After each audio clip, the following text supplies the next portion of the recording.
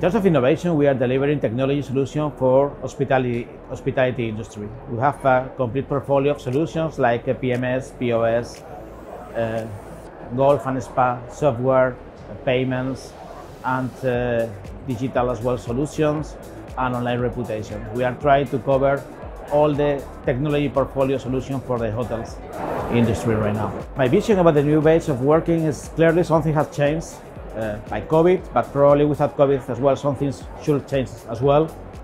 We now need to use technology tools because contact is going to be reduced as much as possible, but as well some decisions based on the customer's uh, expectation, news, whatever have changed, and we need to adapt ourselves to the customer expectation.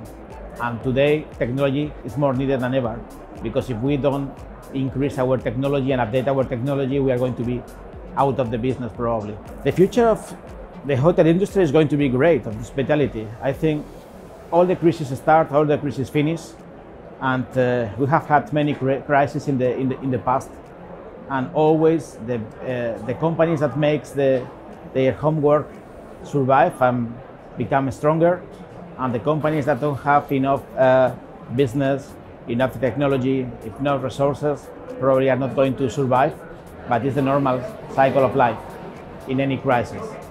We have a huge crisis in 2008, for example, and the result was mainly the same.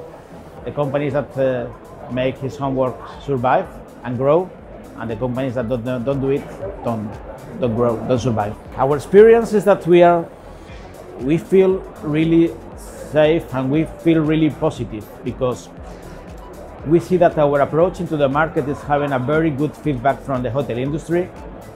Uh, we are doing something different to the others. We are listening the customer needs and we are trying to deliver solutions based on the customer needs. That approaching is, is working really well, really well for us. It's working very good. And we are really very optimistic in terms of our solution development and market development as well.